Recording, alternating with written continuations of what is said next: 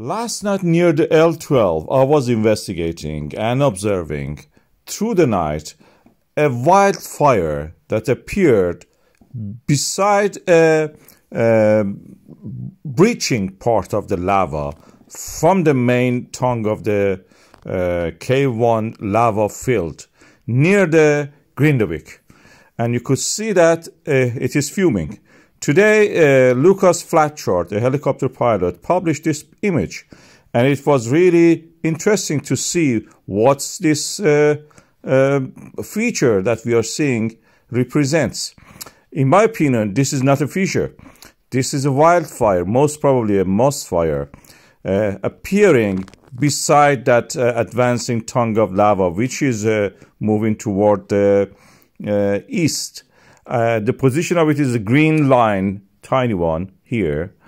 And if you compare it with the landmarks like that, this street in the east of the Grindavik, we will see that it doesn't follow any pattern of the known fissures, cracks, fault lines in that area.